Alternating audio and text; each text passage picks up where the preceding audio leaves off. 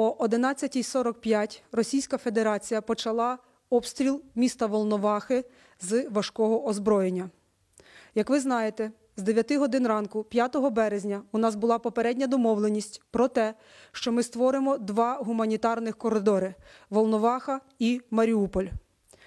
Я констатую той факт, що Росія порушила домовленості навіть за посередництва Червоного Христа, не дотрималась взятих на себе зобов'язань і обстрілює місто Волноваха. Також у напрямку Маріуполь-Запоріжжя ведуться бої в районі населеного пункту Пологе Оріхове, які унеможливлюють рух колони з Маріуполя до Запоріжжя. Ми звертаємось до російської сторони припинити обстріли, відвернути режим припинення вогню і дати можливість сформувати колони гуманітарного коридору для того, щоб діти, жінки і люди похилого віку змогли покинути населені пункти.